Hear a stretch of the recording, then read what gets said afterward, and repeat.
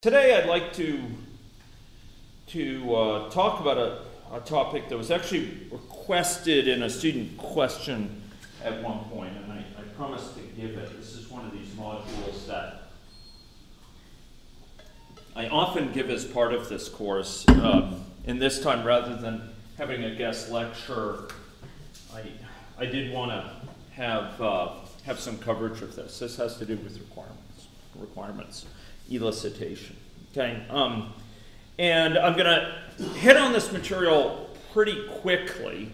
Um, this could be two lectures, but I really want to drive home some very practical points that you can use with your stakeholders, including myself, but also Mike at, at Lexonic or others that you deal with there.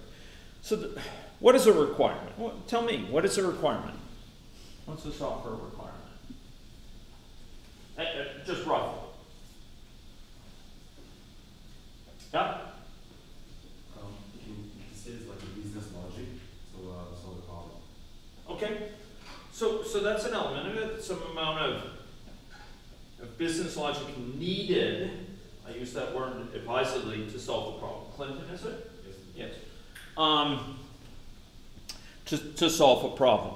Um, and there's a couple key words. We want to refine it a little bit, uh, but it's a couple of keywords. It's a criteria that has to be satisfied. So it's a, it's a criteria. It's needed to have a successful project. Okay. Um, and uh, it, it, has to do, as Clinton said, in solving problems, things that are needed. And requirements gathering has been described by Jerry Weinberg, who's, who's sort of a leading thinker in this area, has contributed some really thoughtful books, as an attempt to discover what product is desired by people. Okay? So there's some stakeholders, what do they want for this to be a successful project? That's how I often begin projects. What would it mean for this project for you for it to be successful. So why am I going to give this lecture? Because you'll need to elicit these requirements, and because it's oddly hard to elicit requirements well, and it's extremely important. And I should add here, with a few tips, it can be a lot less error prone, a lot less problematic. By, by having some of the pointers that I'm going to be providing you, you have less risk of missing big issues that are going to impact your software development and make and, and that will by applying these you'll be able to lower your, your chance of, uh, of having big problems arise from missing or misunderstood requirements. Okay? So I'm going to motivate it just a little bit. That could be again a whole lecture. Requirements gathering is arguably the single most important thing in software. Development. I say arguably because I think there's some other components that are also extremely important, but it's certainly one of the very top. And it's one of the top reasons for failure in software development, that a project doesn't meet success. I'm going to focus most of my attention today in providing tips to, to elicit things more reliably, lessening ambiguity, avoiding missing requirements, um, and, uh, and then helping to, to lower the risk of requirements changes. Okay. So I mentioned, look, I mean, requirements are, are the number one or number two reason for historically having runaway projects, projects which don't complete in time, which go way over time over budget. There were early versions of this class where I, I would have the students read, read count, uh, recountings of software project disasters. And it's a really interesting literature for those who are who are interested in learning from experience of others. There's some projects which you know ended up with 10 times the budget as originally anticipated or it was estimated to take you know six months and it took four years or what have you. And there's some very famous cases of this. Um, and one of the foremost reasons probably the number one or number two reason is a, a problems with, with requirements and unstable requirements. Another thing is that requirements, problems multiply over time. And this is, this is something you may well be asked in the exam. If you identify problems earlier in software development, you tend to benefit. So if there's a problem that originates, if this is time here, and this is dollars or amount of work that, that results from finding a problem um, at different stages. Let's suppose a problem creeps in early, but we only find it, we only identify it at this stage, or that stage, or that stage, or that stage, successively later. How do you think, do you think the amount of dollars spent or dollars wasted, we could think of it, goes up or down? If a problem is introduced very early, let's say in a requirement, and it takes longer to, to find it, have we lost more money or less money than if we find it early? Do we save money if we find it early or late? Yeah, early. And it turns out that if you graph this out, do you think it goes up linearly? No, it goes up ex- exponentially, it turns out. This is like release of the product or something like that. It becomes a lot more painful to debug or to fix when it's released. I'm not sure if you have an embedded system that's in thousands of cars worldwide and you have to fix a bug um, in it. So if you find problems in the requirements phase, it's vastly cheaper than if you find them later. Okay? So, so this is a graph of sort of how much it costs to find a problem that originates early, only in a later phase. Why is that? Why does it go up so fast? Why does it go up exponentially like that? What, at a very concrete level, what's happening? As longer time goes on, um, if I consider longer and longer times of finding it, what's what's happened along the way that's cost money? Yeah. build more Say. of a system around uh, Yeah. something that you assume is right that you precisely. You built your system around this thing. What what let's be more concrete than that even. Um, when you say build a system around it, what what does that involve? Okay, writing code is what we think about. But what else besides is there besides writing code? Yeah. Testing, validation. Testing, so we write all these test scripts associated with it, do test plans involving other things. Yeah. Uh, design. Design. Okay, uh, that's exactly right. Mason? Okay, he may not think it's a big achievement, but, um, for some of us, small things make a difference. Okay, um, so yeah, we build a whole design, a technical design around it, and suddenly, now our technical design has to take into account a new requirement, which then changes the design, makes it more complicated, and that ripples through to, to elements of detailed design planning, the software interfaces we put into place, and then to the details of the code, and then when the code changes, what often has to change with it? The testing has, that tests that code, and and you know our test plans have to change, and the flow through the system changes, which changes our our sort of um, test uh, needs through it, and we have to we have to update our build scripts take into account new technologies. It it just compounds the longer longer it is. And in fact, there've been some very interesting studies done of asking teams to build a system um, build a system with requirements, you know, not really that clear, okay, um, versus asking them to rebuild them once all the the, uh, the the requirements are really really pinned down. And the amazing thing is, it's different by orders of magnitude. If you have agreement, I want you to do exactly this. Imagine you had a, a copy of the system that someone else built, but for some reason that code base has to be jettisoned. Maybe it's issues with, uh, you know, it's in a, the wrong language, or it's in, um, it's now got some legal encumbrances. All I want to do is copy exactly what the appearance is in the flow. Turns out that's much easier. Because you just study it and you say, okay, we need this to do this and this to do that. And there's not this kind of back and forth with the stakeholder. So it turns out requirements affect delivery speed, product quality, and, and, and the cost of a product. Does anyone recognize this? What is this thing? It's arranged. It's the Is that triangle? yeah, it's the iron triangle, okay? And it turns out that if you got your requirements wrong, it affects each of these things. Why product quality? If you're a stakeholder, why does it affect product quality? I'm a stakeholder. I'm a stakeholder, right? Tell me I'm a stakeholder, right? Um, I'm a stakeholder. Why does having requirements off affect my sense of product quality? Yeah. Because the requirement should directly reflect what the product. Exactly. It's like, okay, you may build the system right, but you haven't built the right system, right? You give me, you give me something, a system that isn't the one I wanted. Thank you very much. These are not the droids I'm looking for, right? And you're looking for. Um, uh, so it affects quality. Why does it affect the economy?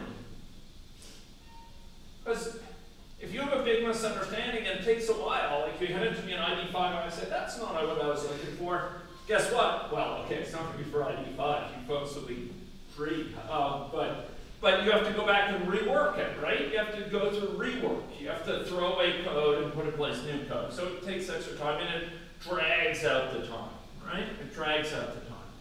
So, you know, it, it affects all of these things and, and through multiple pathways, as we say, multiple generative pathways here. It affects it affects things through, you know, development effective list, there's churn, and people say, oh, now we have to fix this, but there's parts of the code base that make the old assumptions still, and I, I update the code base, but I miss some things, and it leads to, to problems um, adapting it, etc. So it turns out good requirements help along a lot of different lot of different areas. Lower project risk, you say, you know, lower risk, if the rug will be yanked out from under you. You say, oh, that's what you mean? Oh, man, we, we implemented it differently. Um, faults are caught earlier, you know, you have faster development because people are being held up to know what the expectations are. Um, you know, there's elimination of unnecessary development. And for real world projects, less chance that a project will be canceled. Don't worry, I won't cancel your project. this project is defunct. Don't worry. Um, but in real world, things that are going off the tracks get canceled, right? Um, uh, this can also help document change needs, etc. Okay, let's talk about some problems with requirement statements. Suppose you have a thing that tries to list the requirements for a system. I, mean, I gave you as a stakeholder, I gave you a document, right? What what could, what could go wrong with that document?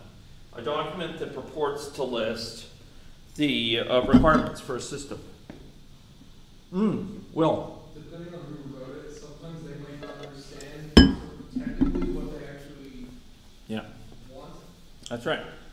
So that's right. They, they, they may not have a clear idea in mind of what the technical options even are, much less exactly which one they they want, and so it may be articulated kind of a fuzzy way.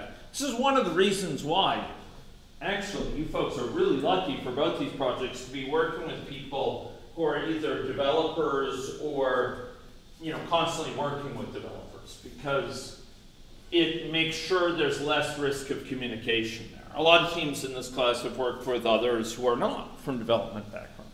What other things could go wrong? Particularly if you have someone who's not a technical person, not a software developer, not a computer scientist. What could go wrong? Yeah, Might not understand the limitations for what they actually coded. that's right. So they say, you know, I want a system that will work offline and, and get updates when any software developer, or when, when any updates occur to the database. And you say, well, if it's offline, it can't get those updates, but that's not necessarily clear to them, right? Um, or they'll say, you know, it should be, it should be online all the time, even though it's mounted in a car. And you say, okay, that's pretty hard to ensure if you're in a tunnel, you know, a tunnel of, uh, uh, under the English Channel. Getting complete connectivity is pretty, you know, constant connectivity is pretty difficult. So sometimes there's a lack of understanding of, of what's feasible. Okay? Other things? By the way, sometimes that occurs to technical, um, really quite technical topics like you know, they assume you can consider an exhaustive match between hundreds of people and do that more or less instantly. And not gonna be able to consider an exhaustive match within those timeframes with existing architectures. Mason, did you wanna say something else? I was gonna say quite a bit. Yeah, yeah, too, too ambitious, good. What other things? Suppose you're dealing with a, a doctor, or you're dealing with a lawyer, or you're dealing with someone who does dental, dental, you know, they're, they're a dentist, or, or they're a, uh, accountant. Yeah, Matthew. They don't know what they want. Yeah, so th- they don't know what they want, it's kind of similar, Will. Uh, kind of the, the flip side is they get too specific into their own realm where Yeah. you can't understand. That's right. Because you don't understand their needs, you don't understand their language. They say, you know, I wanted to distinguish between um, lingual and buccal, um, you know, cavitation and and uh, caries caries classifications, um, and you know, an individual's dental history, oral health history. Well, that means an enormous amount to any dentist, but to you, it's not clear what does that really mean. And often they're speaking in a different language of sorts. It's, they have these concepts which you don't necessarily have. You have ambiguity. There's a lot of other ones too. Conflict between different stakeholders. Uh, yeah, Lisa. Um, sometimes they'll ask for something that they don't really understand, they don't want. Yes. I, I've done work for some, uh, uh, older people for websites that wanted like a splash page that would show up every time you went on the site. I'm like, no, absolutely not. Like, not, not in, not in like twenty nineteen, are we having a like five second splash page that you can't avoid showing up on the website. Right. So sometimes they'll ask, you might end up with someone asking for something that is, say, counterintuitive to, uh, you know, uh, user conversion or Yeah. sales or, or whatever else. And I have to either talk to them about it or convince them that it's a bad idea Yeah. or something. Yeah, I'll give you an example like that, that even someone very technical, right? Uh, I don't know, how many people in here are iPhone users? How many people in here are Android users? Okay. Um, so I'll share with you, I- I happen to be an Android user. Um, if I tried to design a product for iPhone, and I said, I want exactly this, you folks who are iPhone users will be absolutely right to probably tell me many times, no, that's not the way you do it in iPhone. iPhone has this other way of showing that, or in iPhone there's this special dialog that's standard to all you know apps. You, you handle things this way, or you know notifications are the proper way to do notifications on iPhone is X. And traditionally, these have been addressed by different sets of developers. And you know, the folks in the Android world may be very sophisticated Android developers, but they're not going to know the right way, you know, the accepted way to do this on iPhone, and vice versa, vice versa. So if you have, you know, an iPhone developer who just designs an Android system, you might get something that looks very, it behaves very strangely, and it looks weird from the perspective of the Android, the Android user, right? Um, be kind of like cloning a Mac, a Mac application to look exactly like that on a Windows box or a Linux box. It look kind of, it, it, it just doesn't look right. So, uh, so Mesa is exactly, um, uh, exactly on track there. So there's some other things too. I mean, look, uh, if we gather understanding from the stakeholders, sometimes we we forget, you know, exactly what they told us. Um, we we make mistakes when they're pointing out something as to what exactly they mean. Yes, they can be unnecessarily specific uh, about about how they want us to do this, and really what they want is look, just do it the right way on iPhone, but they don't know the right way. Um, uh, I will also mention, sometimes developers, this happens a lot, developers have their pet ideas of what it should be, and they try to get their ideas in there. It's like, you really want this. I think you really want that. Wouldn't it be cool if you could do this? And that's not always bad, because often that means something they can do easily and what they think will be an asset, but sometimes it's not an asset from the perspective of the stakeholder. So I want to distinguish here between functional requirements, which are requirements dictated to behavior of the software, the functionality of the software, the features that it offers, right? Um, and, um, and non-functional requirements. Which of these do you think stakeholders, if, if they're not particularly from computer science background, they don't have software development background, which of these is easier for them to keep in mind? Which are the ones when they say, I want to tell you what the system should do, which do they have in mind? The things about features or the things about non-functional requirements? Things like uh, reliability, security, availability, uh, usability. Which do you think they have in mind? Functionality, yes. Kind of the, the features. And often it's kind of a narrow functionality, right? They say, look, I want a system that will do this sort of thing. You know, it'll be a, an app for for people, for, for parents with young children to help them understand the, the needs for their young children to get uh, immunized and, and to go in for well baby visits and uh, to have proper nutrition at different stages of the child's development. And what they're thinking about is the app. That's what's on their mind, the app. But often what they need to be thinking about is are things like the administrative interface of the app. How are you going to update the app with new tips as new health information comes out? Or, or how are you going to store the information that's on a phone, on a server, so that if someone switches devices, they're still going to have access to their information? They're thinking about the things right in front of them, the, the user experience perhaps with the app.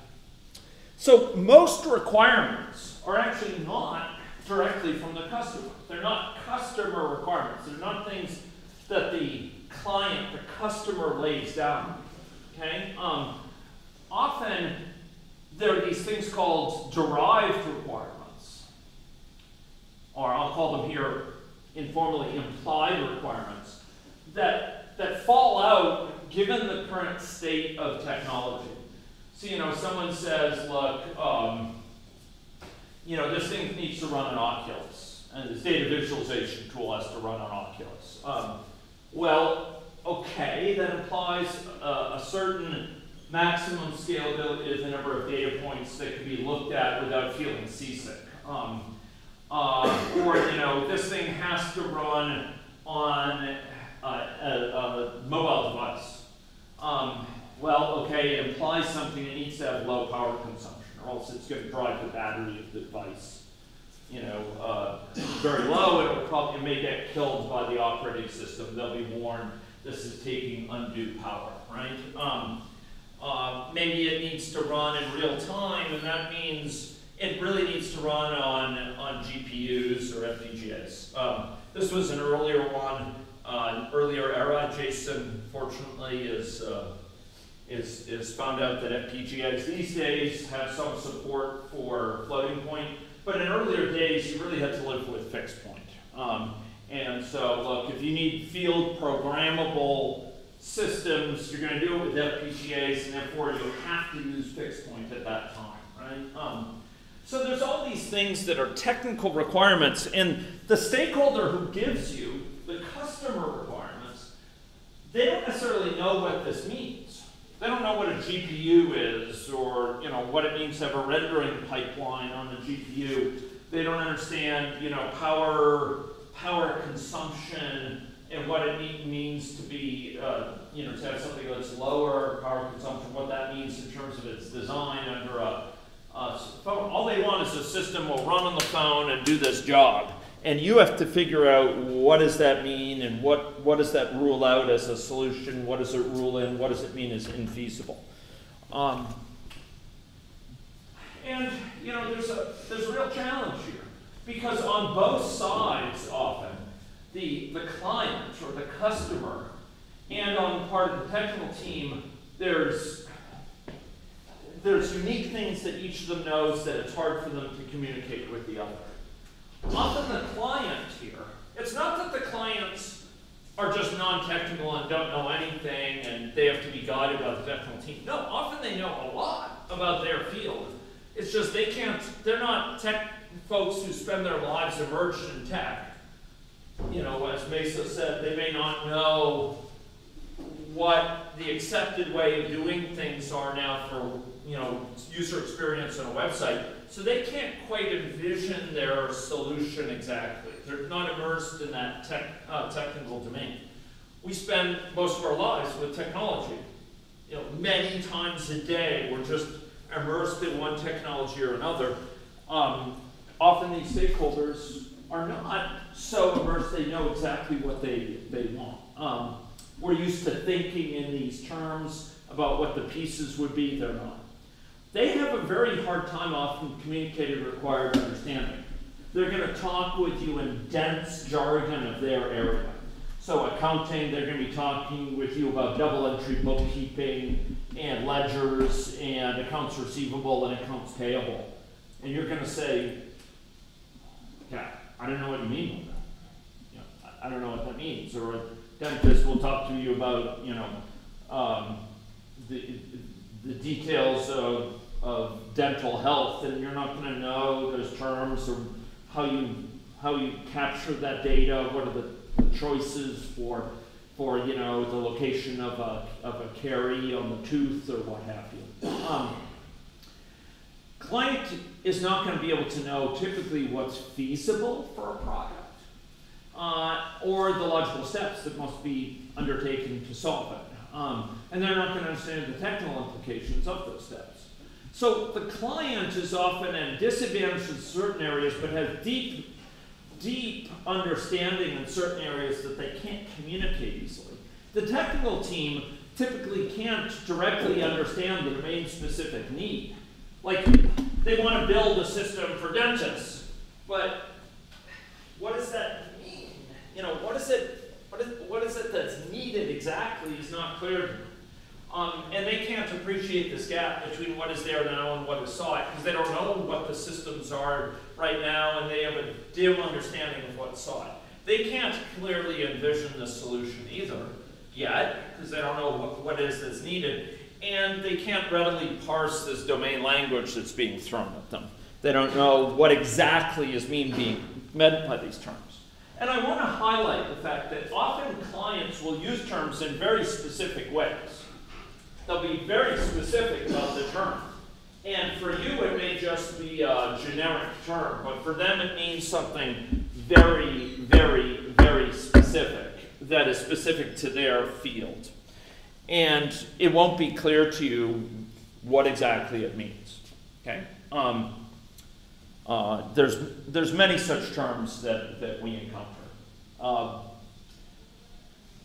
if you were to work in the infectious disease areas, um, you're a software person, you might talk about system trouble incidents. They're called STIs. I can assure you, if you talk with infectious disease physician about STIs, they will have a very different idea in mind if you talk about, so there are sites that are called aggregator sites online. Aggregators, you know, pull together information from many other sites and sort of often in a in a sort of dashboard or some sort of way aggregate it together. Um, we have ways of computer scientists about talked about aggregation of data or content. Uh, for others, aggregates are associated with prison sentences that offenders are undergo in response to corrections having been convicted in a court of law. So aggregates for criminal justice people mean something very different. Um, and if you say, if they say, I'm going to give you aggregate data, aggregates data, it doesn't mean it's summarized and is sort of added together or something. It means it's like data about people in corrections. So these common words that we use in one area mean something totally different in other areas. And they often mean something very, very, very specific. Um, I find myself, I do a lot of work across disciplinary boundaries, and I run into these things all the time. And I have to be very careful who I'm talking with to know what word to use. So let's talk about each of these categories. So functional requirements. This is a template for writing functional requirements. Who shall be able to do what? Sometimes to what, to, to what thing. Often there's some qualifier associated with it having to do with how soon or the quality with which. and and then potentially specify use cases. Um, and from a, a systems perspective, it may specify conditions under which something happens, what is done, what is done, or, or qualifiers associated with how soon. Here's a few example functional requirements. Okay? Uh, all network transmitted data that includes health information shall be encrypted using 128-bit RSA encryption. Okay? Um, so here, network transmitted data shall be encrypted with this qualifier of 128-bit RSA encryption. Um, until the camera app is either closed by the user or experiences a timeout due to inactivity, the take photo button on the main IFE screen shall remain disabled. Okay? Um, so this is telling you something about a state that the system is in, is in where the camera app is open and the button that says normally says take photo is disabled because the photo is already in a state of being taken. Okay? I could go through these, but the point is these are written in a very specific way that, that broadly matches these sort of, of criteria, either from a systems perspective or a user's perspective. You know, uh, here, a user indicates a search term to the search engine. The software responds by displaying a list of pages that match the criteria. The list is, is limited to 100 results. The user may indicate the next 100 results are to be displayed, in which case the system displays those results instead. I want to draw your attention to something with this last one. And it's actually true for, for a number of these others. Uh, so, what does this not specify?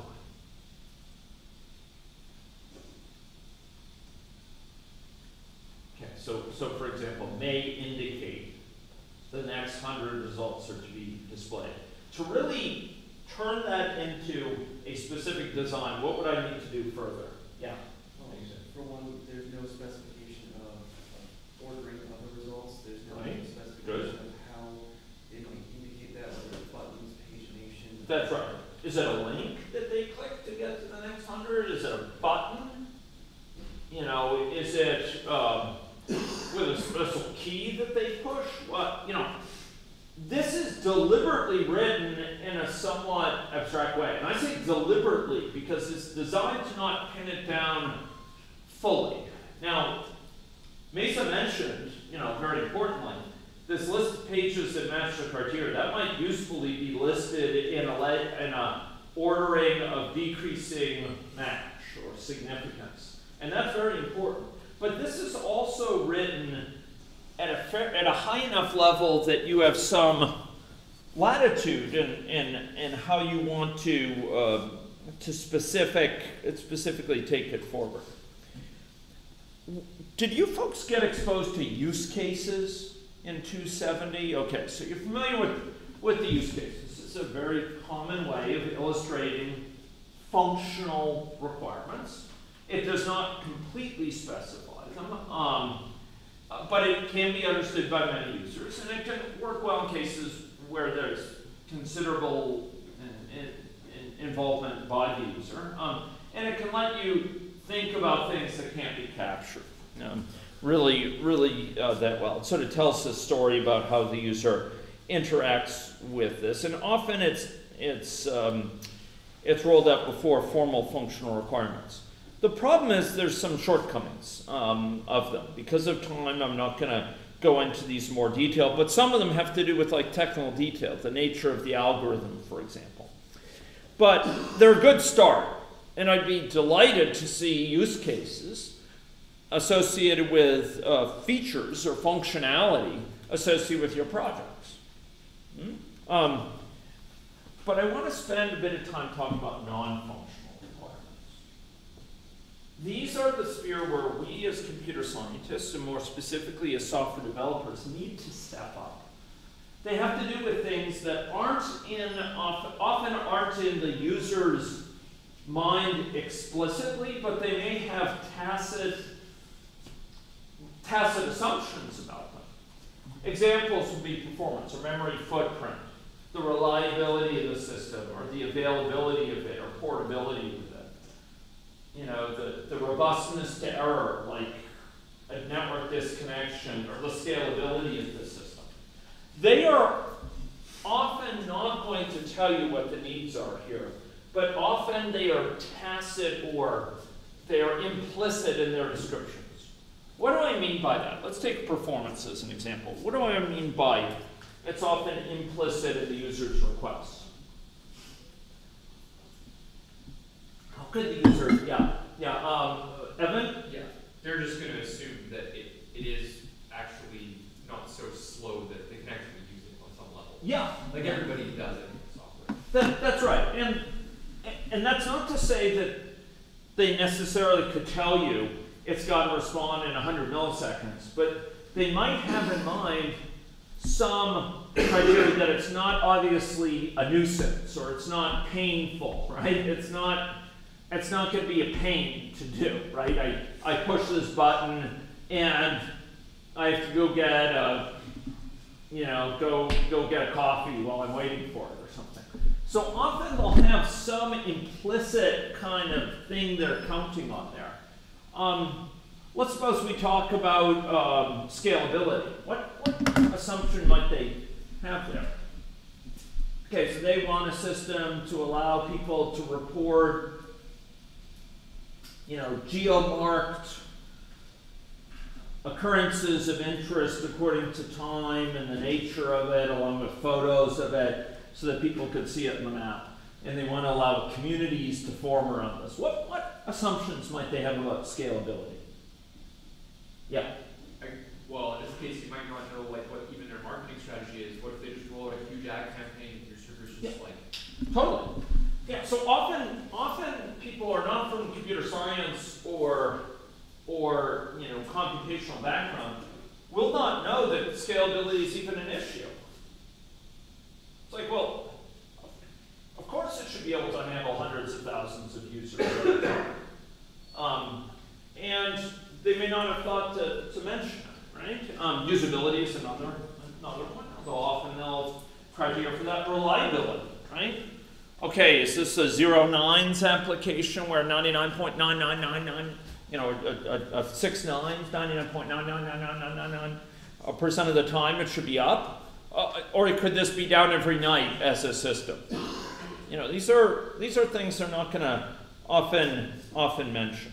Okay, um, so there may be, for example, performance-wise, real-time guarantees that they want to provide. The system needs to be able to to keep up with incoming data uh, in a live way, or a certain response time. What do I mean by throughput of a system? We often distinguish between latency and throughput.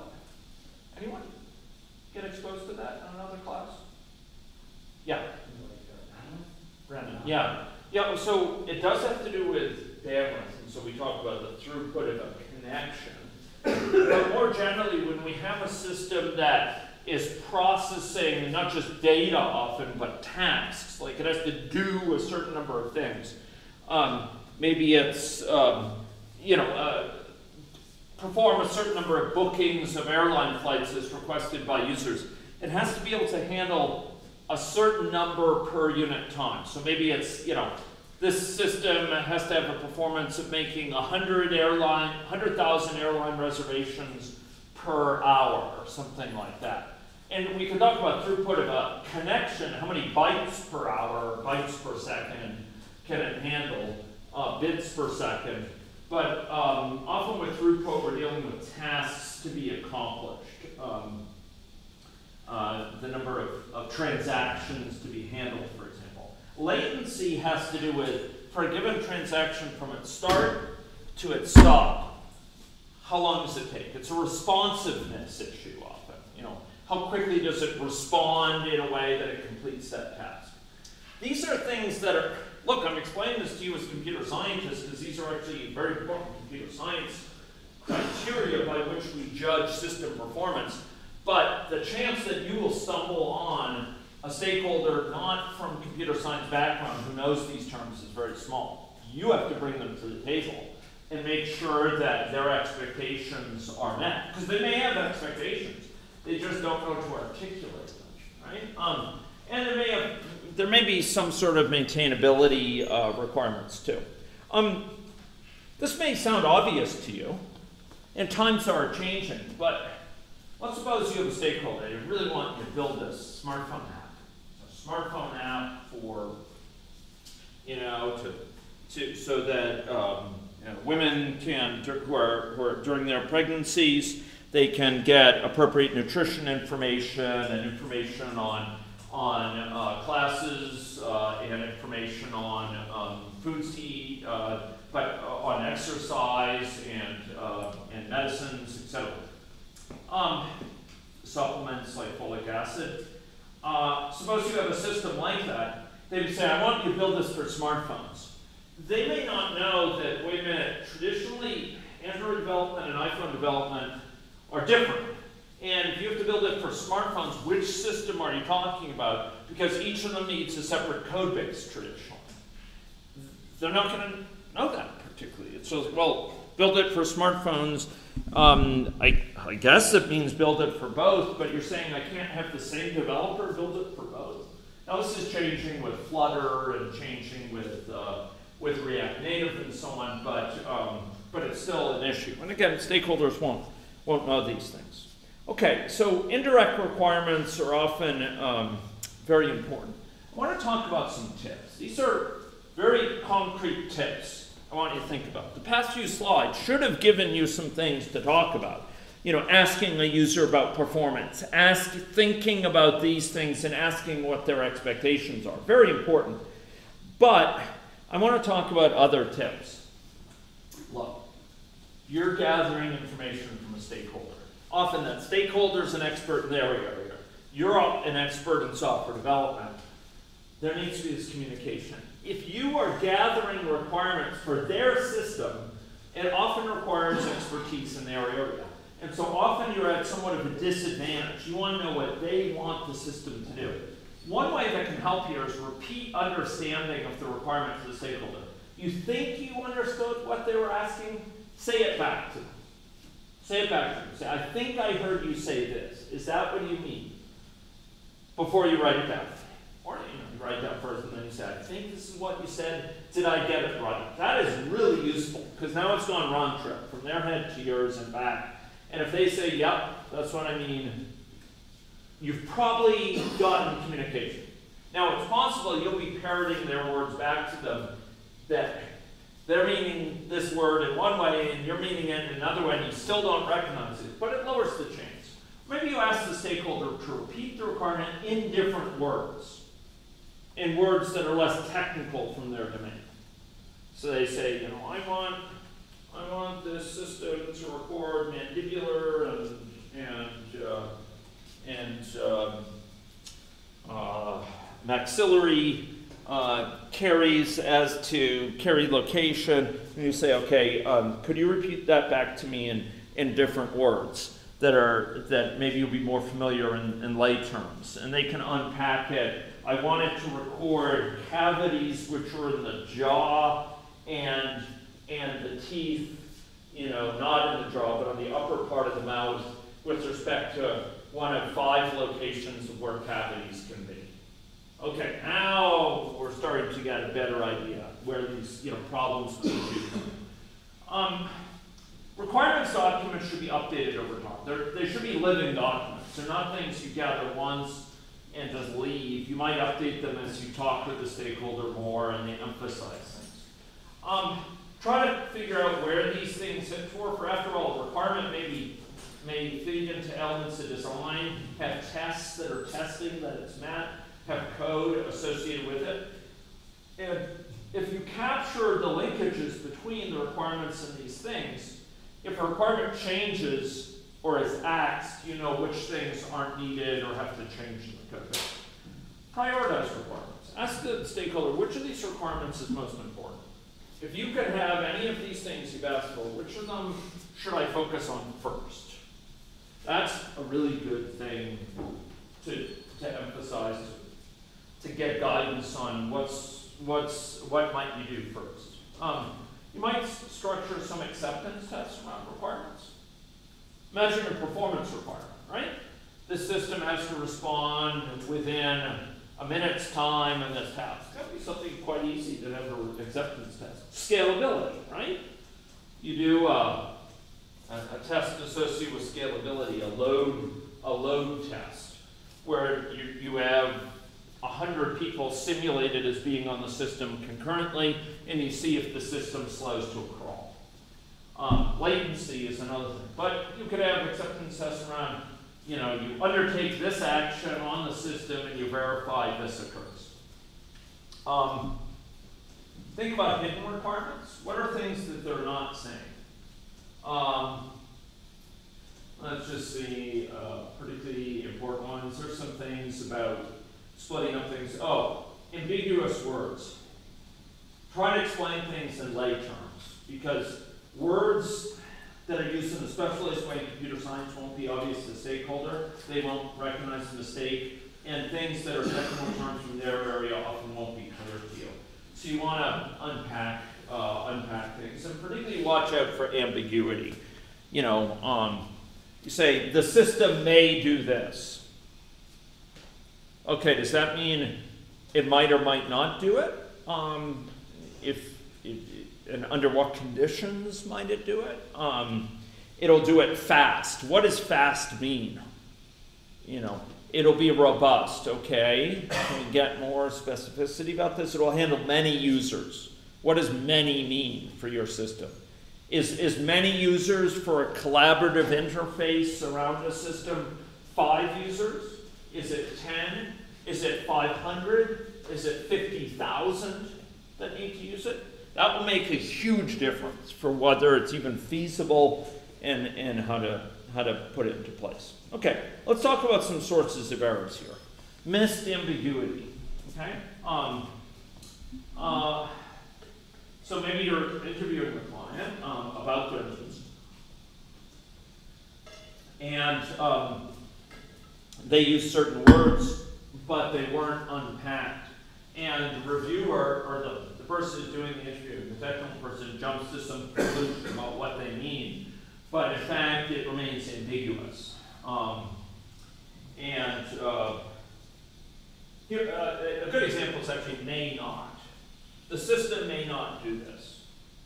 Give me two meanings. If I say under this condition, under this condition, the system may not, um, you know, uh, may not execute the query. Give me two interpretations of that. Yes, one, same. Well, absolutely never. Uh, One is, yeah, it, it's illegal for it to do so, it- or it's, it's, have to be careful, with a police officer or with a, with a justice, uh, in a courtroom, illegal is not a good term to use, you know, it's impermissible, it's not allowed for it to do that. So it's ruled out, it is forbidden for it to do that, okay? That's one re- reason, you say it may not do this. Uh, what's another way of interpreting it? The other one is it could do it and it could not. Yeah, it could or could not do it. It's up to, you know, maybe up to you whether it does it or not, that's fine. Which does that mean? It may, may be pretty important. Um, I'll tell you another thing that's really a very common problem, a missing requirement. A requirement that's just missing, it's absent. Um, and the problem here is that this can require, um, a, requirement that's not stated can mean very different things. It can occur, the miss, a- an requirement can be missing under very different circumstances. One circumstance is the users don't care a whit about it. They don't care about it. It's, it's missing because they don't give a damn. Forgive my language. They, they just don't care about this issue. What's another reason? It's so obvious to them, of course it has to do it, that they don't even mention it. Because of course they assume you know a car has to move on a road. What else is a car for? You know, um, they care, may care strongly about it and assume that the dental staff are, of course, aware of it. Um, you know, a dental system has to be able to be up, has to be able to be updated when a new dental appointment occurs. Oh, Of course. Or teeth get pulled. Of course, teeth or teeth aren't the same between people. I know that.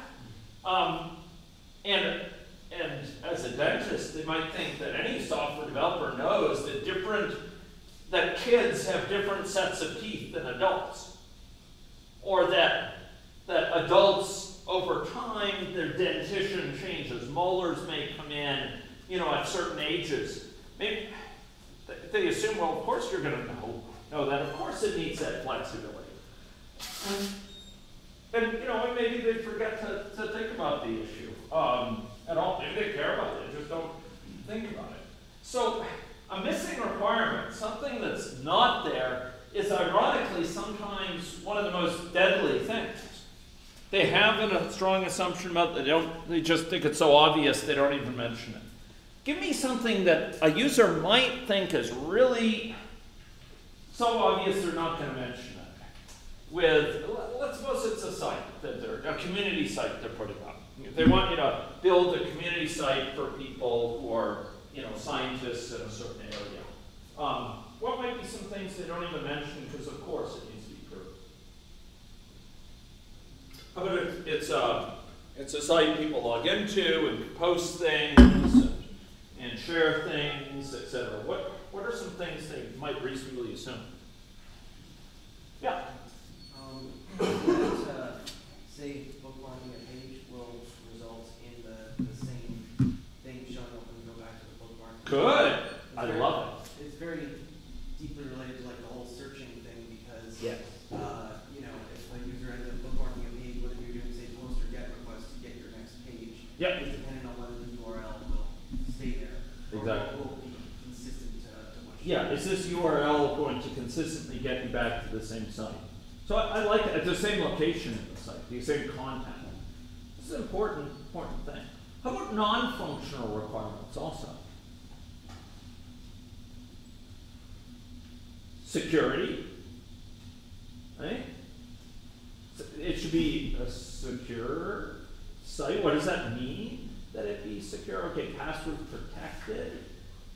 Okay. Um, should there be a certain level of, of insurance of you know strength of, of passwords? What if people uh, forget their passwords? Should they be able to restore them? How about scalability? Right? Um, uh, you know, well, of course, there's millions of people who would be using this versus no, this is a community of 500. You know, these things have very different implications. Um, so missing requirements are, are quite important. Um. If someone misheard the statement from the, the person who heard the gathering, how can you buffer against observational error? Okay, so your team is interviewing the stakeholder, the client. What can you do to help lower the chance that observational error will lead to an error in your understanding of the requirements? Yes. record the meeting, or even send the person a copy of the meeting. Love it. Both of those are very good. And at a very simple level, was there another hand up? Yeah, uh, Brendan. then uh, re-ask, Sorry. confirm what you're asking. Yeah, ask, ask back, uh, yeah, Kareem. Yeah, exactly, and that's exactly what I was, I had foremost in mind. Have multiple people there. Because look, if one person misses it or interprets it in an off-base way, at least you've got others who might be able to check that, right? Um, uh, maybe one of them could say, I thought I heard this, the other say, I thought I heard that instead, you know, what was it? So getting this back and forth with user and with multiple people is really, really helpful. Recall error can also be helped by having multiple sets of eyes or ears there. Okay. Um, other sorts of errors. Well, I said this earlier. Completely neglect tacit requirements. A user often will not think about these areas. They won't think about the security or the maintainability, the operability of the site, or the performance of the site, or integration with existing systems, or how to bring the data from their existing system to this. They might not think about the needs for whole categories of users. How are they going to be administering this community site? How are they going to reset passwords for someone? You know, how are they going to put new content on for for couples who have a young child to help them know about the location of well baby services or about, you know, the location of childcare uh, outfits in the city. Presumably, there's a class of administrative users and who don't go through an app but go through a website, and they're just not going to think about this. Their, their notion is on the app. I want users to have an app. I want young family, you know, families to be able to have access to that. That's great. But what else is required? That's our job as computer scientists to help lead them through that. Um, and, and to help them understand, you know, okay, those apps that they have have to be connected at least some of the time. They can't store the data locally because if they need to switch phones to a new phone, they want to be able to get the app on that other phone that already has their information in it. Therefore, that information has to live on the server, and therefore, we need a server side infrastructure to which their app has to connect on a periodic basis. And, you know, they're not going to know this. They just want that app in front of the person on an ongoing basis. And if you say that requires a server and you have to set up a server and have an administrative interface, they'll say, okay. Okay? Then do what you have to do to make this app possible. This is a very rare phenomenon. I've been through it many times. And, um, you know, it's a, it's a, it's a big issue. Um, okay. Uh, we're coming up on 48 past. I, I will just note that there's a there's a key um, step that is often required with with uh, these requirements to to elicit the requirements, gap. And sometimes said gather, but it's a more active process than just kind of gathering them in a passive way. You come up with requirements, you pass them back to the to the client. The customer decides, is that okay? Then you have accepted requirements, and ideally you then build the system and use the system. But what often happens is what? Well, the requirements change. Why might the requirements change? I, I thought I might have a, a slide on it, but I, I don't here. Why might requirements change over time? Well, Clinton said it earlier when his, some of his first comments. Business logic. Business logic changes. Things change. You know, an organization merges with another one, and how they do business changes. Uh, they make this, this group makes a strategic partnership, and they bring all this new data to the to the table. Technology changes. Their sense of users' needs change. Competitors come out. Lots of different reasons that may shift their sense of what a desirable system is and leads to new needs for requirements. So, over time, requirements evolve. And there's got to be some process for bringing these new requirements to the table. One of the ways of achieving that is the way that we're applying in this class. To wit, incremental development, this agile approach where periodically we reconvene with the stakeholders, as I'm asking you to do at least once a deliverable, and say, look, this is what we've got. What do you think of it? What's the next requirement or set of requirements you want in there? Is this what you had in mind? That makes it less likely that requirements errors will go missed for a long time by the stakeholder.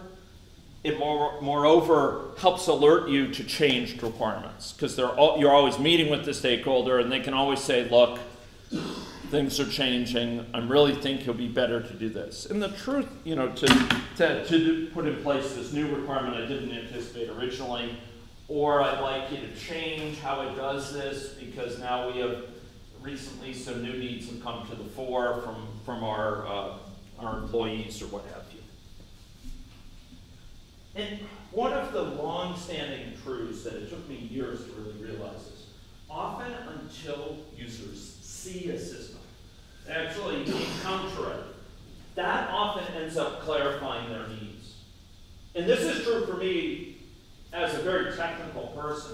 When I see an instantiation, an implementation of something I had in mind, it just brings up new ideas in my thinking about what the needs are. It makes me think, ah, we really need this, this is kind of clunky, or that's close close, but it, you know, it's, it's a bit off in this regard.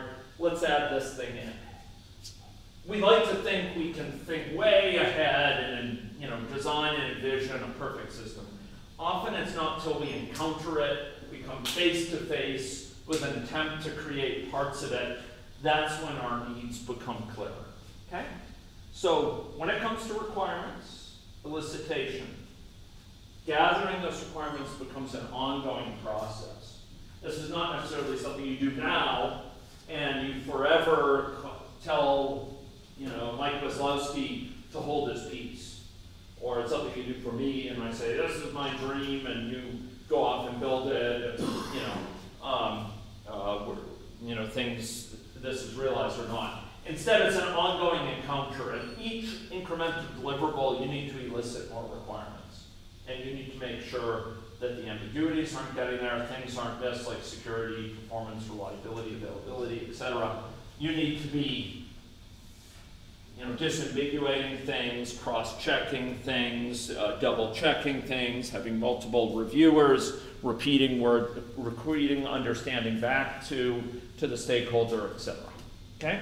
So that's what's required of you in an agile process. It's this ongoing elicitation of requirements that requires proactive um, minding by you throughout the development process. Okay? That is all for today, ladies and gentlemen. Um, and uh, I look forward to reviewing your deliverables and also to seeing your presentations, which I believe are due Tuesday, right? Um, and uh, I will tell you, um, I'll work, work with uh, Dale to uh, find a time for our marking session, and we'll alert each team you can send us a couple representatives, okay, to, to clue us in on um, some aspects of your design that may not be, or aspects of your system that may not be obvious from the from the hand in, et cetera. Okay, thank you very much.